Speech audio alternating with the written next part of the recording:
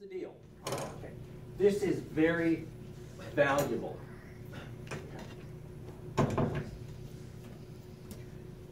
Uh, this is just a graph of uh, half value layers, how you plot it, not a big deal.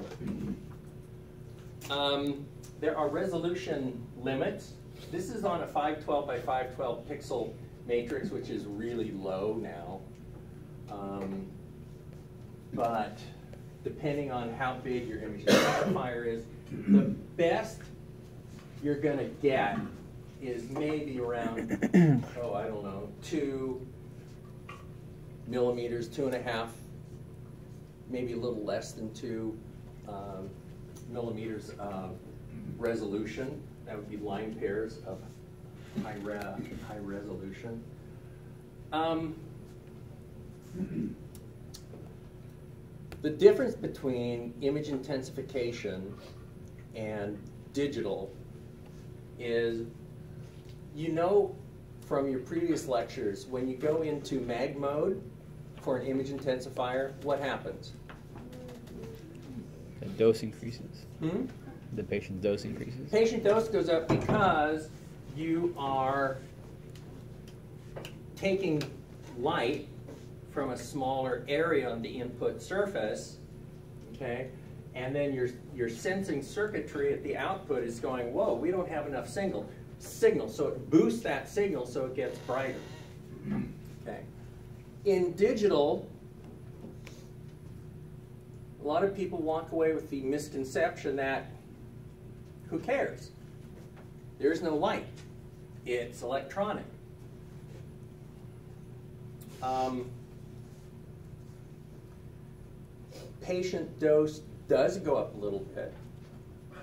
And I want to do this? I'm going to give you the black box explanation, okay? Otherwise, we have to go back a lecture and I have to give you about an hour's worth. The black box explanation is your typical digital detector for a fluoro piece of equipment is usually around, usually has somewhere between 150 and 100 and 200 micron pixels. Okay, so if you consider one that's 40 by 40 centimeters, okay, so that's um, 2,000 pixels squared, so it's about 4 million pixels. On a 5 megapixel display, you don't have a problem. okay? You've got 4 million pixels. You've got a monitor that can show you 5. So showing it one to one from a pixel point of view is easy. But as soon as you decide to do mag mode, excuse me, on a digital fluoro, what happens? Now you're taking only the signal from a smaller section of that detector, but you're going to display it on that 5 megapixel display. So you've got maybe on a, if you go to a 12 inch field of view, 12 by 12, you're only going to have 2.3 megapixels on a 5 megapixel display if you stretch that out to fill that whole display, what do you think it's going to look like? It's going to be a little bit blurry, and it's going to be re really light because now the signal for each part of that detector is being spread over multiple pixels on display. And the system knows that. The system knows what you're going to display it to, so it bumps that up a little bit to bring that that signal from each one of those tran TFTs to where it needs to be. Okay? And as far as the rest of them, sometimes what they'll do is they'll, they'll what they call bin the uh, pixels around the edge, they'll add them together and only do full ret resolution in the middle. But that's how you get a small field of view displayed at full size on a, a monitor. One of the problems that we ran into was trying to convince surgeons. They wanted to put these huge 65 inch monitors in surgery because they said it's bigger, we can see it. Well, yeah, but so they display it, and if you stand, oh, way back here someplace, it looks great. But they kept wanting to go up and find fine detail, and now they're actually seeing individual pixels, and they couldn't understand what the deal was. So in a digital system, matching what you're going to display the image on is really important. And you want to test that.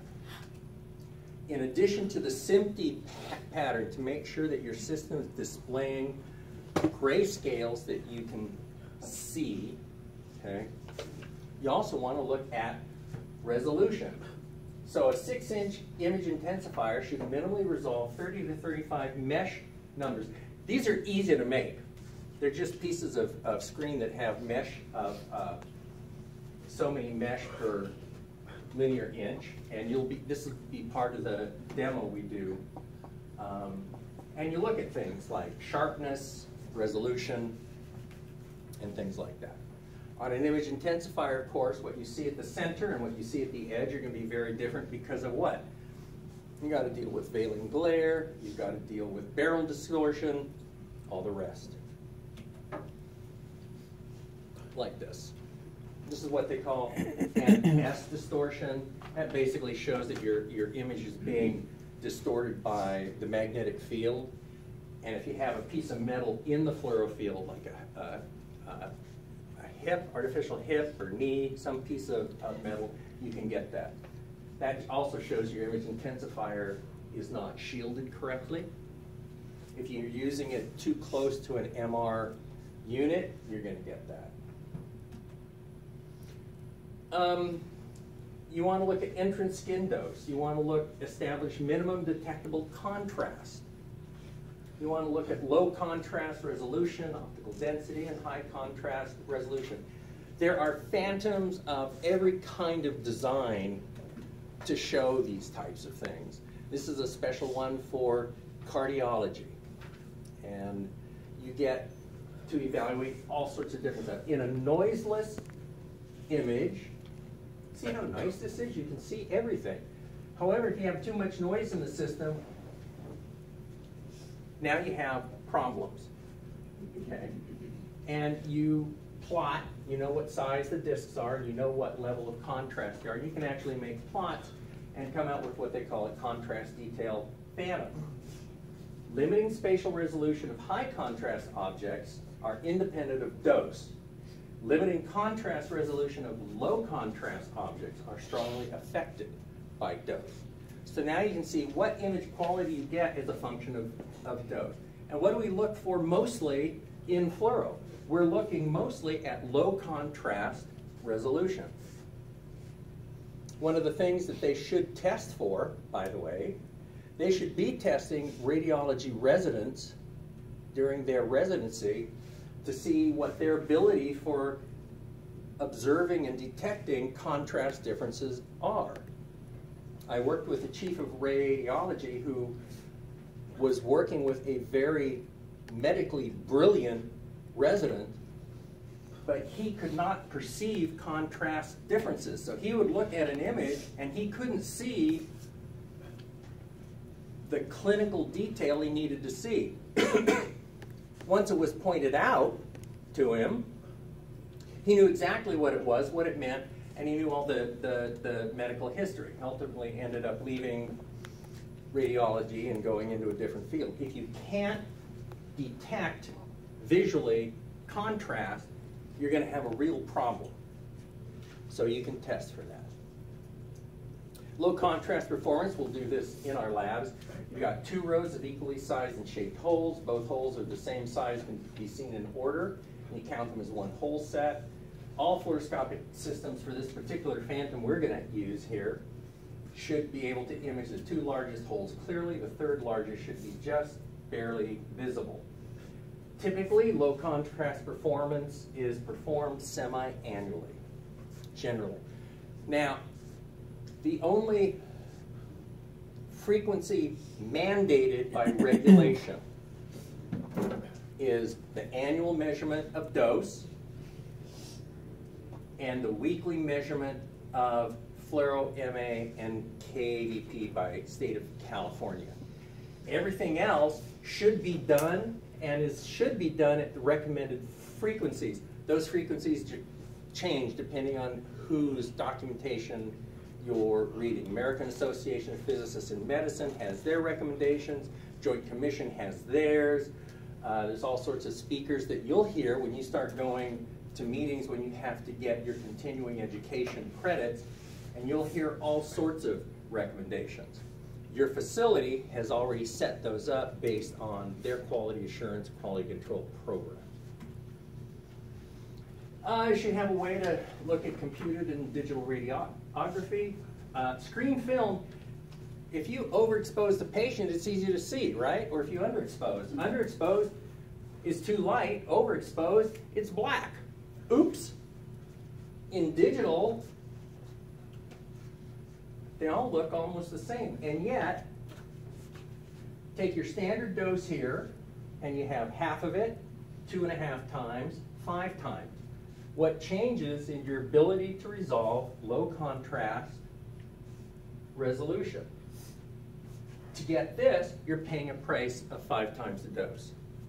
That's why it's so important in a quality assurance program is to look at your EIs and your I's or your S's, depending on what system you use, it has a different factor, but looks at what your exposure for a particular study is. It's really important, okay?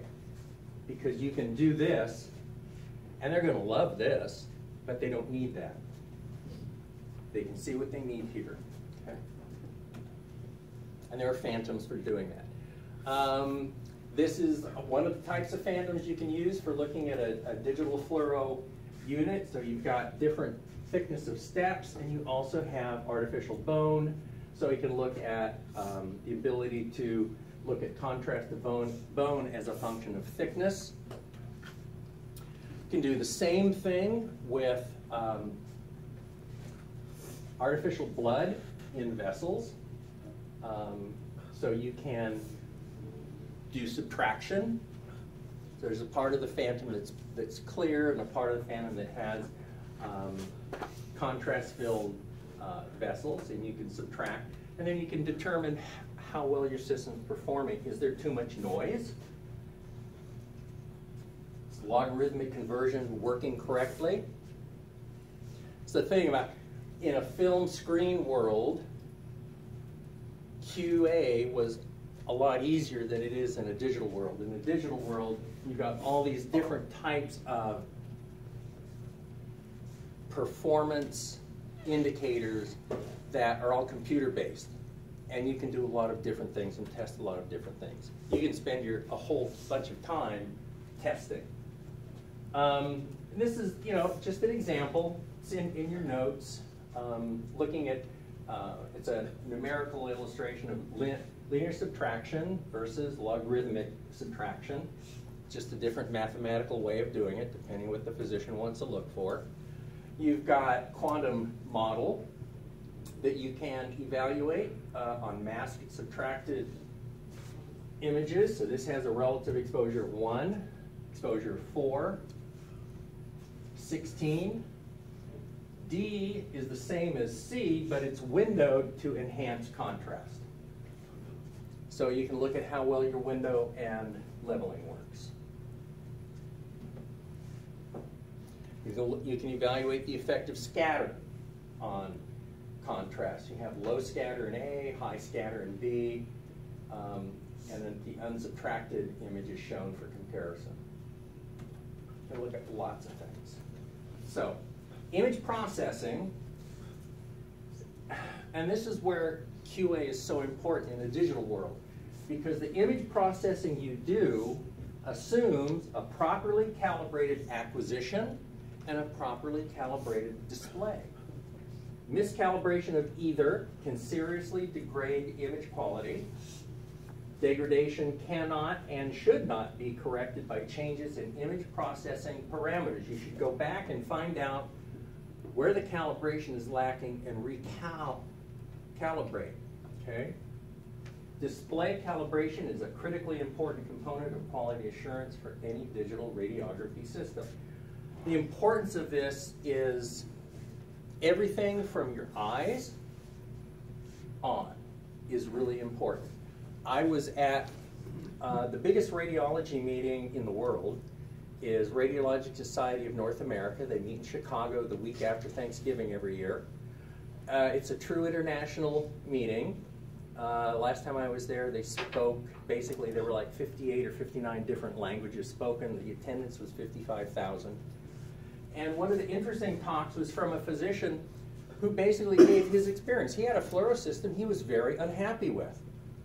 And he had a private practice and he went through, he changed the x-ray tube, he had them change the image intensifier. Image intensifiers back for what he did were about sixty-five to hundred thousand dollars just for the image intensifier. X-ray tubes were about the same. He put in a lot of expensive work. He was about ready to buy a whole brand new room for close to eight hundred thousand dollars when one of his techs noticed that he was reading images like this. And she asked him, when did you last get your eyes checked? He went, he got his eyes checked. New pair of glasses. So for a $350, $400 pair of glasses, all of a sudden, all the problems that he saw in his equipment went away. okay. It's one of the problems we sometimes have with physicians. They don't want to believe the problem is here. It's always the equipment. Be prepared. Okay. Calibration of display is really important in a miscalibrated display, what does this patient look like to have? What would you guess? Pneumonia? Yeah, that Yeah. consolidation. Yeah, this looks like pneumonia to me. Guess what? Patient was totally nor normal. On a calibrated display, their chest looked normal. Okay? All has to do with how contrast is set and maintained. We don't use CRTs anymore thankfully. Although, I'm sorry, they still make the best television sets because of Lambert's law. Because you can look at a cathode ray from any angle from 0 through 180 and they're just as bright. Um, LCD doesn't quite work like that, but they've been around a long time, since 1888, invented by a botanist. Um, and he noticed that, uh, that uh, cholesterol benzoate crystallized when it cooled. RCA did the first experimental LCD in 1968, and it's totally improved since then. I think everybody probably has an L LCD something in their house or apartment. Um, this is actually a micrograph of what LCDs look like. I'm not going to go through the the theory of how they work. There's a whole bunch of slides in here. We're just going to go through. But with the house, the specific fan used for monitoring should be six to 10 inches, typically nine inches of water in a plastic container, or lucite phantom, seven eighths, seven eighths inches of lucite, or you can use the one and a half inch aluminum block measuring. This is for QC. This is not for the regulatory measuring of dose. Okay? That would be your weekly fluoro test. Um, these are recommended test and frequency, image quality pass or fail. I believe in a digital room, the first image that should come up every day at the beginning of some particular shift is the SMPTE. It should come up on the monitor. You should be able to see everything that you need to see and then go on from there. It takes less than 30 seconds to do, and it will save a whole lot of heartbreak. Image quality evaluation, a more detailed test, you could, if you're going to do that, it would be monthly.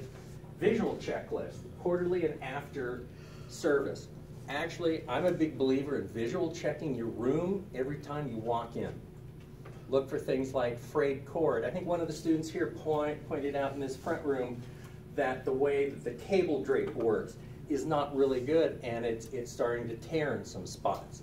That's something you, you look at and you report high-level control check, maybe every quarter. Medical physicist survey is annual.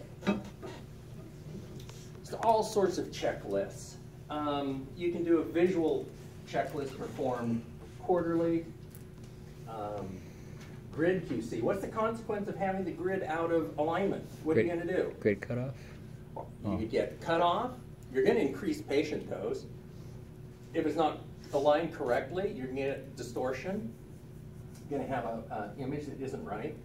Collimation should automatically adjust when the SID is changed. That's a required tracking. And we'll see that in the back. You put a phantom in, as you raise the image intensifier up and down, collimator should open and close automatically to maintain alignment with the image intensifier. And that's a visual check. You can look at dead man switches. Anybody know um, what the requirement is for your exposure switches for x-ray rooms?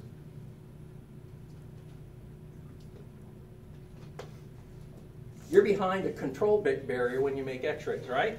Right. Can you take that exposure switch out and go around the edge? Illegal. If you can make an exposure from outside that operator's booth, where you're in direct line of sight with the patient, which is a source of scatter, that's illegal. And the state, when they come through, checks that and they'll cite for that. You need to be able to make an exposure from behind the glass and need to be able to communicate with the patient. Okay? Those are regulatory requirements. Uh, anyway, so every time you use a room, you're going to sense this. You're going to know if the table and image intensifier move smoothly or not. You're going to know if the locks and detents work. You're going to look about all of these things. Everything that's on here, you're going to use every single day. And when they don't work, what do you do? Report it. You report it. You want to always let folks know when something isn't right because what is kind of hard to move today can break tomorrow. And then you're out of room. Okay? Got annual uh, fluoro QC tests. You got to look at collimation. QC testing should be performed and documented at least annually. Lead aprons, gloves, collars, and glasses need to be evaluated under Joint Commission every single year. Hospitals are required to have a method for identifying lead apparel, monitoring it, tracking it, and verifying that it's been tested at least once a year, and to have protocols in place that specify when does that apparel get taken out of service. Okay? You've got a physicist cert survey date and all the things that a physicist might check. Okay? Semi-annual, usually it's suggested automatic brightness control tracking. Okay? High contrast resolution, low contrast resolution, and source to tabletop distance. I personally disagree with this one in what 33 years as a physicist, I never saw a source to tabletop distance change. Once the equipment's installed and verified at acceptance, it's a it, it's it's it's a hard fix. I mean, it doesn't it doesn't change, but they still check it. State likes it. Can have a quality control review form. Should meet hopefully at least once a year or so and look at this and say, is your quality being maintained at the desired level? What's your repeat rate? Are changes addressed when necessary? Usually this is done through the Radiation Safety Committee. Is your x-ray technique chart up to date? Now, Hell no. how many here have a technique chart in their facility? They suck. Yeah, well. So, this is something you get nailed with with the state all the time. And what I told the state was, in a digital room like what we have here, you've got anatomic programming, right? That's a technique because it allows you to choose exam, patient size, all of that. It's all there. Where you need a technique chart is what? Mobiles. So your facility should be able to show you, or at least show an inspector, what the standard technique is for the procedures that are being performed on mobile x-ray equipment. So you need to check that every once in a while, see if it's up to date. Um, you can forget this one, no screen film anymore. Do you meet the required or established qualifications? What's funny is every state inspection they come through, they want to look at your personnel records. They want to look at your certificate. They want to look at your venipuncture. They want to look at your continuing ed. My, you're going to be asked for that documentation when you go to work. Pay very close attention to what I'm going to say. Do not, under any circumstances, give the facility an original of anything. Ever. Keep it away someplace safe because if they lose it and you gave them the original, you've got a problem. Okay? And they do get lost. Give them copies. They, they will actually, for your certificate, most facilities will take what they call primary source verification, which means they go to the state of California site and they look up and they, they look up your name and they'll look to see if you're, if you're current or not. And the state accepts that. Okay. Um, based on QC trends, uh, do any procedures, practice, equipment need to be modified? Do they need to be changed or updated? Are personnel adequately performing assigned tasks? Are patient and personnel radiation exposures as low as reasonably achievable compared to national data? The state loves going through film badge records. I never liked it much myself, but then I was looking at anywhere between five and 6,000 dosimeter results a month. Um, but you need to have something in place that says at what point do you get a little note saying you're too high? Or you're going to exceed your 5R this year. And I do have, I did have uh, radiologists that would exceed that. Uh, we're gonna pass the LCDs, blah, blah, blah, blah, blah, blah. Okay, blah, blah. blah. Display characteristics. Every display has a characteristic curve, the inherent display function of a display system. It, it describes luminance versus digital driving level. That's the signal coming into the display, like this one, that says this is how bright that pixel is going to be. Contrast sensitivity is the sensitivity of an average human observer to changes of luminance in a standard target. You've got a contrast threshold, digital driving levels, display functions. You're not going to have to remember the specifics. This is to point out what gets measured to determine if your display is working correctly. This is all from DICOM which is a diagnostic standard, and they, it's what they call the grayscale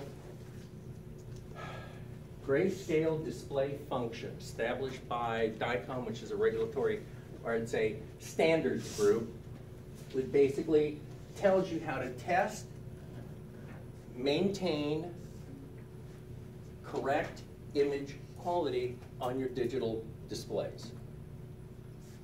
So there's something called a lookup table. So there's a, a piece of memory between video memory and display. It performs transformations of one set of pixel values into another set of pixel values. So this is what comes in from the digital detector, and then those have to be converted into a set of pixel values for your display. And it's during that conversion that we have to test to make sure that it's doing it right. Kind of kind of like that. So, a display has its own native display response curve, and a lot of them look like this. So what the lookup table has to do is say, well, we have to put in the opposing equal curve down here, and when you add the curves together, you get a straight line linear, which is what your digital system is supposed to be.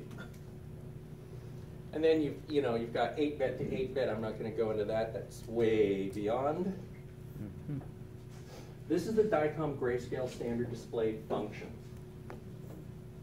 Notice that at the low end, the black, okay, um,